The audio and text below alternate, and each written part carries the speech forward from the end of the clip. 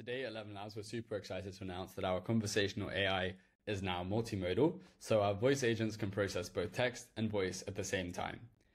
Now, to set this up, it's super easy. Just go to the widget configuration and allow text input, and your voice agent will be able to speak to you um, and understand both text and, voice.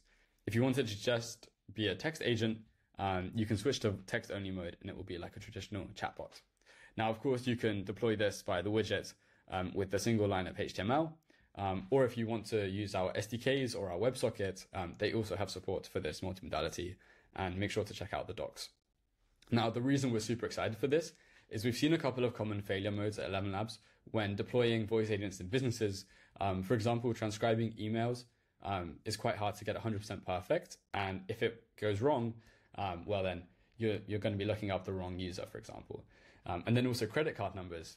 Um, if you're trying to get the user to speak 16 numbers in a row, that's a super annoying experience for a user. Whereas if they can just type them in quickly, um, well, that's a lot smoother for a user. And we think text uh, really is going to help make these interactions much more natural, have much more flow. Um, and they also benefit from all the other innovation we've done on our conversational AI platform, where we can um, we have the best voices in over 32 languages, um, and we have the best speech to text models and text to speech models, and we're also already deployed everywhere with Twilio and SIP trunking infrastructure.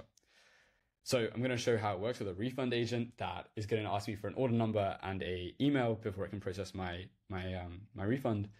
And on top of that, I'm going to try and ask to switch halfway through to Italian and show that that still works. Hey there. Hey, um, I would love to get a refund, please.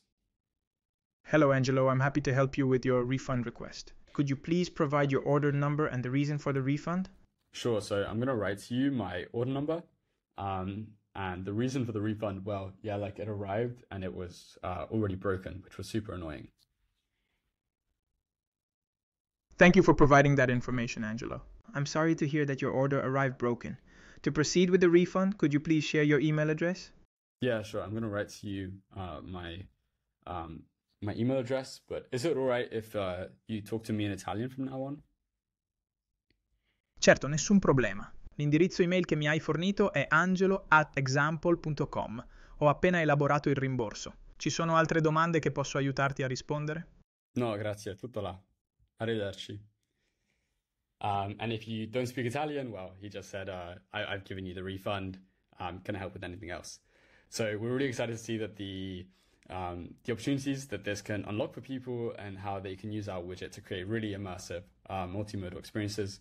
Um, we hope this helps out your business.